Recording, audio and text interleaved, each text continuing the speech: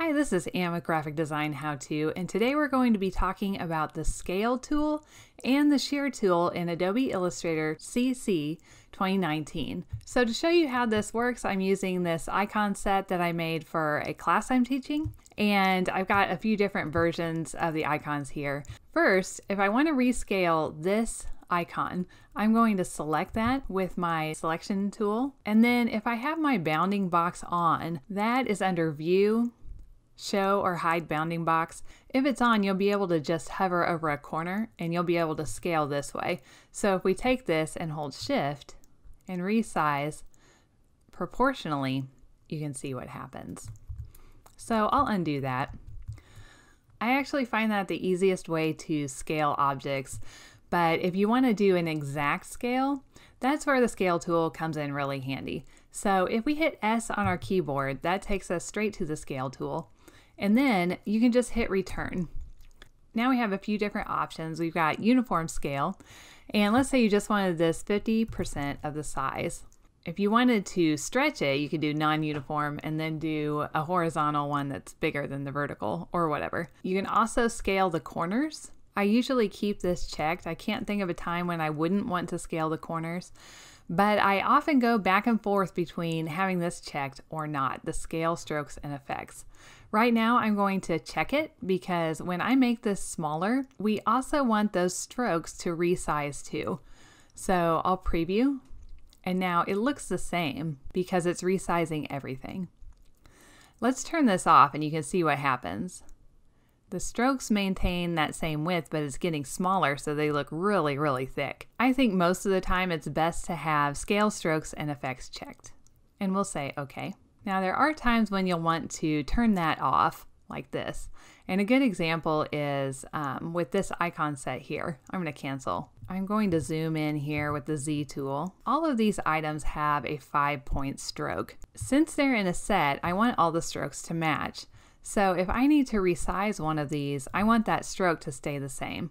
So in that case, I'll hit S return and I'll change this to 100. We will turn off the scale strokes and effects and I'll say OK.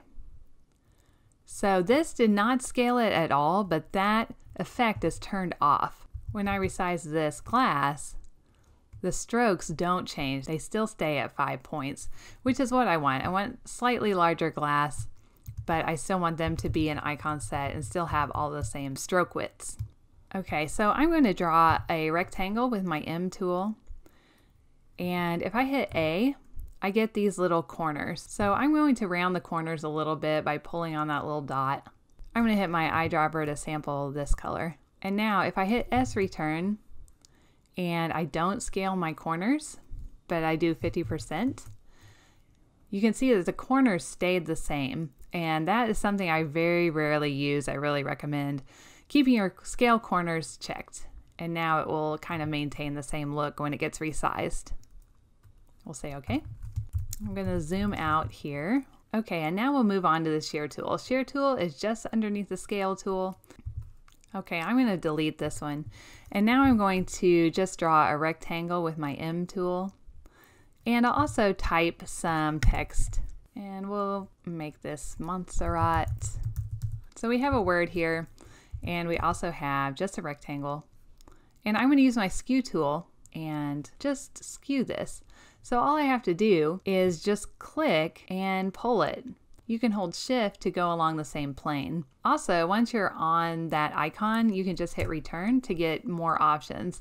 You can set your shear angle, and I've got preview checked here, and then your axis angle. I very rarely use these options, but if you wanted to get really precise with what you're doing, um, you can use these shear options. We'll say cancel.